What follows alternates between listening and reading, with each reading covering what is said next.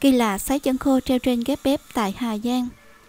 Đi tìm chân treo ghép bếp, Có một câu chuyện trợn tóc gáy ở cao nguyên đá Hà Giang.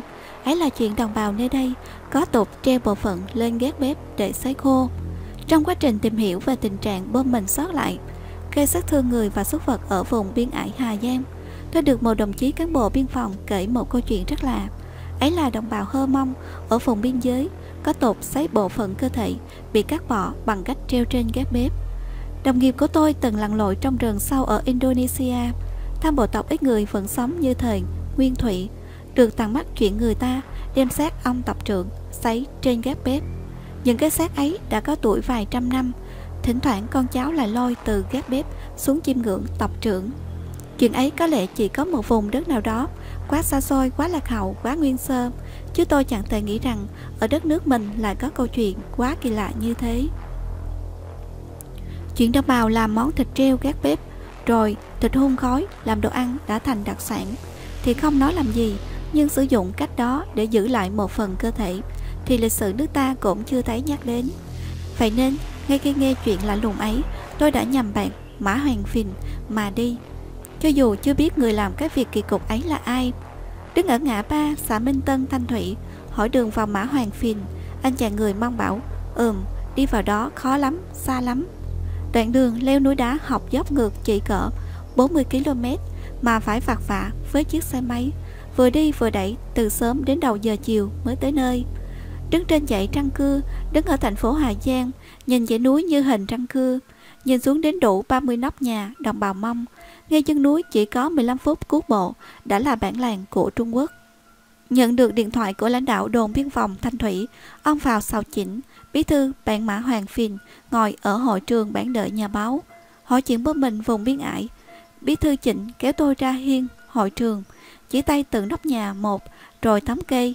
Nhà kia có thằng bị mình nổ banh xác, nhà kia có thằng cục chân, thằng kia bị mút mắt, thằng kia cục tay. Nhiều lắm nhà báo à. Trâu bò vẫn bị mình cưa cục chân, Dân bản làm thịt ăn suốt ấy mà. Hỏi chuyện có một anh chàng của bản Bị mình cưa đứt chân, Hiện đang sấy chân gác bếp. Như lời cán bộ biên phòng kể, Bí thư chỉnh gõ cốc cốc vào đầu, Nhưng nghĩ mãi không ra. Bí thư chỉnh mới được tăng cường từ xã vào thôn Để giải quyết tình trạng phá rừng nghiến. Bán sang Trung Quốc rất phức tạp, Nên chưa nắm được cụ thể những chuyện xảy ra từ trước. Mà trung tâm xã Lê bí thư chỉnh sống và làm việc đến mã Hoàng Phìn hơn một ngày cuối bộ, nên chả mấy khi vào bản. Đường vào mã Hoàng Phìn mới được mở năm nay, nhưng trời đẹp, đi xe máy cũng mất nửa buổi. Mã Hoàng Phìn nằm giữa trường phiến như một thế giới khác. Đang không biết tìm đâu ra cái anh chàng có hành động kỳ quặc như lời kể của đồng chí biên phòng, thì trưởng bản vàng xe quả, cắp gà đến. Quả khoe vừa ra biên giới, mua được con gà Trung Quốc về làm thịt. Tôi dành câu hỏi về cái chân treo gác bếp cho vàng xe quả. Thì quả trả lời ngay, Có chuyện này mà, Đó là cái chân của thằng Thảo Minh Hoa. Nó là bạn mình, Nó bị trúng mình Mình còn đưa nó xuống bệnh viện cơ.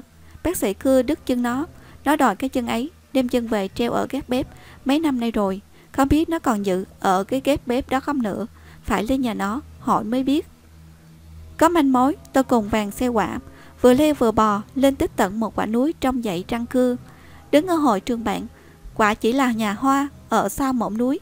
Sau rặng phầu, Cỡ con da quăng, Mà đi đến mướt mát mồ hôi mới tới. Thế nhưng trong ngôi nhà ám mũi bồ hóng, Lên màu đen xì ấy, Chỉ có hai người đàn bà, Là chị Sùng Thị Dính, Vợ của Thảo Minh Hoa, Và mẹ đẻ của Hoa. Hai người đàn bà không biết tiếng phổ thông, Thấy người lạ thì xấu hổ, Chua tọt và buồn. Trưởng bản quả Phải gọi mãi Mới chịu ra tiếp người lạ. Theo chị Dính chồng chị, Thảo Minh Hoa đã sang nhà bố vợ từ sáng sớm. Chỉ còn một chân chống nạn tập tỉnh, thế mà Hoa cứ bộ cả ngày, Vừa qua mấy dãy núi từ bản mã Hoàng Phìn của huyện Thanh Thủy sang tận bản Lò Xính Tỏn của huyện Quảng Bà. Sợ dĩ Hoa sang nhà bố vợ là vì hai đứa con gửi ở bên đó. Nhà hoa nghèo, bố chết sớm, bản thân lại thương tật, không có điều kiện nuôi hai con, nên đành gửi chúng cho bố vợ. Vợ chồng Hoa cùng người mẹ đẻ sống ở mảng Hoàng Phìn trong cây ngô, gieo lúa nương kiếm miếng ăn. Cuộc sống mơ mã hoàng phình xa xôi khốn khó, núi đá một màu xám xịt, làm lụng vất vả mà vẫn phải ăn, mèn mén, ngô say, vài tháng. Hỏi chuyện về chiếc chân khô của chồng, chị Dùng thì dính bảo đúng là có cái chân khô của chồng treo trên ghép bếp. nhưng phải hỏi ý kiến chồng thì mới lấy xuống cho xem được.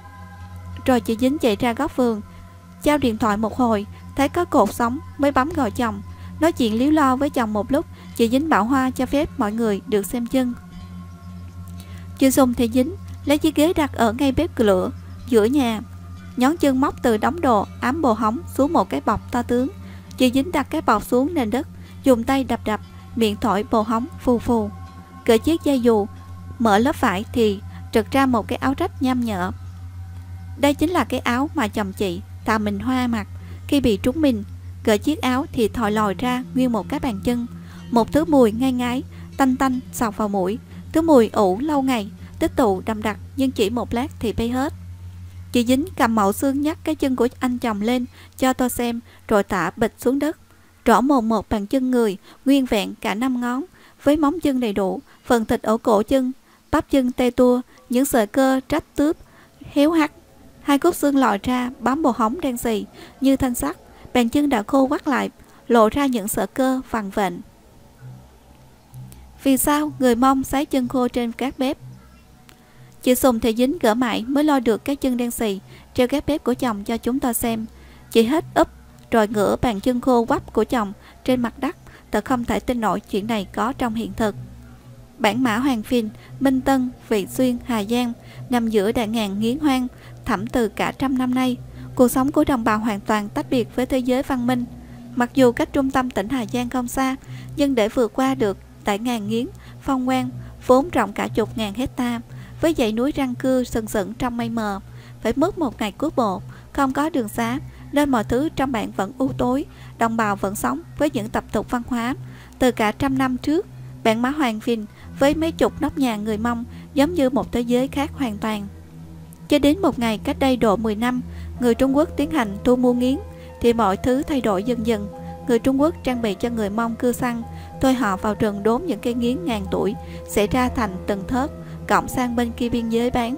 Rồi những bản làng xung quanh cũng bỏ hết nương rẫy vào rừng đốn nghiến. Họ tha nghiến nhẫn nha cả ngày, lẫn đêm như đàn kiến chăm chỉ. Khi chúng ta phát hiện ra chuyện ấy, thì đạn ngàn nghiến, trùng dậy trăng cư đã rỗng ruột.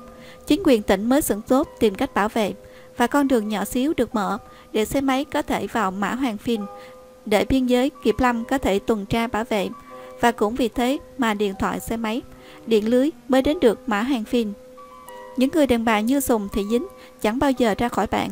Thế giới của chị là từ ngôi nhà ám mùi đen đến nương rẫy, vì thế một tiếng phổ thông cũng không nói được.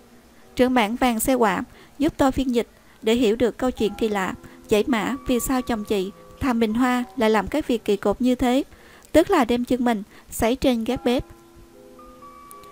Dính sinh năm 1979, nhiều hơn chồng 3 tuổi, quê dính ở huyện Quảng Bạ, bản Lò Xín toản, xa xôi, năm 17 tuổi, chính quốc bộ các trường một ngày dời sang tận đất Quảng Bạ để kéo bà chị về làm vợ.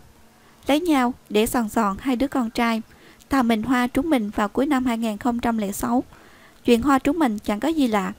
Bởi ở bản Mã Hoàng Phìn với 30 nóc nhà và cỡ 150 cư dân này, chuyện trúng mình năm nào cũng chẳng có. Cả bản Mã Hoàng Phìn vốn là một bãi mình lớn, bộ đội công binh đã nhiều lần dẫn liều ăn dặm ở về trong Mã Hoàng Phìn trà phá, thu gom, vô hiệu hóa, hàng tấn minh. Tuy nhiên, nhiều khu vực có địa hình phức tạp, nằm sâu trong rừng thì chưa thể gỡ hết. Hơn nữa, việc mình còn sót vẫn có thể xảy ra. Thỉnh thoảng người dân mã hàng phình lại nghe tiếng đùng đoàn, trầm đục vang lên ở một cánh rừng nào đó. Mọi người tá họa chạy về phía phát ra tiếng nổ, thấy con trâu nằm sóng xoài, họ con dơi banh xác. Nhiều khi đồng bào được bữa chén thọ thê khi một chú lợn rừng độc chiến nằm trên vũng máu. Vợ chồng Thà Minh Hoa sống mãi gần đỉnh núi, được bố mẹ chia cho một mảnh ruộng gieo lúa nương, mảnh đất nằm mãi trên đỉnh núi, chẳng có nước nôi gì. Vợ chồng hoa vải, hạt lúa trên mảnh đất khô cằn ấy, mỗi vụ chỉ thu được vài chục kg gạo. Ở vùng núi đá này, lương thực chủ yếu là ngô. Vợ chồng Thà Minh Hoa phải nhặt đá xếp thành ôm, rồi xúc đất đổ vào, gieo hạt ngô vào đó. Cái món ngon say gọi là mèn mén là món ăn chính của gia đình Hoa, cũng như dân bản. Nhìn bên đất trong hõm núi sao nhà mà phát thèm, hàng triệu năm phong hóa, rồi những cơn mưa xối đất động lại, khiến cho cái hõm núi ấy có thể cải tạo thành mảnh ruộng màu mỡ. Tuy nhiên hõm núi ấy đã được bộ đội công binh cấm biển nguy hiểm, không được vào. Thấy chồng bàn tính đốt cây, đốt rừng, cải tạo hộm núi ấy, dễ được cả mẫu ruộng. Sùng thì dính ủng hộ chồng, nghĩ là làm. Sớm hôm sau hai vợ chồng cơm đùng, cơm nắm vác dao cuốc, trèo lên hõm núi trên đỉnh trăng khưa. Hai vợ chồng hì hục phát rừng dọn cỏ. Khi dính đang gom cây dại thành đống thì ở góc núi bên kia tiếng bình nộ khô cóc vang lên, khói trắng khói đen bụi, đất mù mịt.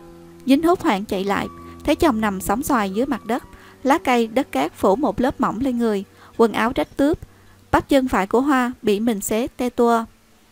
Dính khóc rống lên, cứ cuốn cuồng không biết phải làm gì. Dính lay gọi chồng, không thấy chồng thưa. Dính chạy một mạch về bản.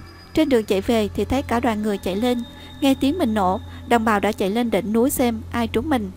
Vàng xe quả kể rằng, khi nghe tiếng mình nổ, quả đã cùng mọi người chạy lên đỉnh núi. Đen lên thì gặp dính vừa chạy vừa khóc. Hoa chính là bạn thân của vàng xe quả. Quả đặt chiếc lá mỏng lên mũi hoa. Thấy lá vẫn pháp phới, vậy là hoa vẫn còn thở. Tim vẫn còn đập, mọi người thay nhau cổng hoa về nhà. Đặt hoa giữa nền nhà, mọi người đang bàn tính cách làm tan ma, thì hoa tỉnh dậy. Chuyện trò bô bô, con đường từ Mão Hàng Phình ra đến trung tâm xã mất một ngày cuốc bộ, nên chẳng ai tin Hoa sẽ sống được đến lúc về đến bệnh viện Hà Giang. Tuy nhiên, để cả tiếng sau, thấy Hoa vẫn tỉnh táo, khỏe mạnh, là còn vui vẻ nói đùa, chẳng kêu đau đớn gì, nên mọi người chuẩn bị vọng cán. Thanh niên khỏe mạnh trong bản, được phân công nhiệm vụ thay nhau khiên Hoa. Cứ vừa đi vừa chạy, chị em phụ nữ chuẩn bị cơm đùm, cơm nắm. Đoàn người khiêng Thảo Minh Hoa từ trưa đến nửa đêm thì về đến trung tâm xã Minh Tân, y tá ở xã Băng Bó, tiêm thuốc trợ sức, garo, rồi dùng xe máy chở Hoa về bệnh viện tỉnh Hà Giang. Nhìn bắp chân tê tua thịt, lộ hai cốt xương ra ngoài, bác sĩ đành phải tiến hành cưa chân. Vừa tỉnh dậy sau cơn mê dài, câu đầu tiên Thảo Minh Hoa hỏi là chân đâu rồi? Hoa đợi gặp bác sĩ phẫu thuật, bác sĩ cười bảo, biết người hơ mông có phong tục, giữ lại bộ phận cơ thể, nên chúng tôi ướp lạnh chân cho anh rồi, anh cứ yên tâm dưỡng sức, khi nào khỏe thì mang chân về làm kỷ niệm. Ra viện, Hoa xách theo thùng đã ướp chân về lại bản Mã Hoàng Phình. Hoa đặt cái chân lên gác bếp, rồi ngày ngày chất củi đốt, khiến cho hơi nóng ngày đêm tỏ lên, rồi khói ám quanh chân, khiến cho cái chân khô nhanh quắt lại. Chỉ 10 ngày hung khói, bàn chân của Hoa đã trở thành xác ướp. Chỉ dính gậy mấy tháng sau, Hoa lo bàn chân xuống xem, thấy chuột gặm mất mấy miếng, nên Hoa đã lấy chiếc áo rách tê tua, mặc hôm trùm mình, bọc bàn chân lại. Hoa lại lấy thêm mảnh vải nữa, bọc bên ngoài, bó chặt, rồi đặt lại gác bếp. Thỉnh thoảng, Hoa lại lấy bàn chân khỏi gác bếp rồi mở ra xem chân mình còn đẹp không, có bị mối mọt xơi hay không. Đàn bà hôm mong quan niệm khi cha mẹ sinh ra, cơ thể đầy đủ các bộ phận, khi chết đi bị cột chân, cột tay, tổ tiên không nhận ra, nên không về thế giới bên kia được. Do đó, nếu bị cưa chân, cưa tay, họ sẽ giữ lại bộ phận đó. Khi chết, người nhà sẽ đặt bộ phận đó vào áo quan để con ma được đầy đủ bộ phận. Đó chính là lý do khiến cho đồng bào Hơ Mông, miền biên ải Hà Giang giữ lại những cái chân bị cưa bởi chúng mình. Thông tin của kênh chúng tôi cung cấp cho các bạn đến đây là hết. Xin chào và hẹn gặp lại.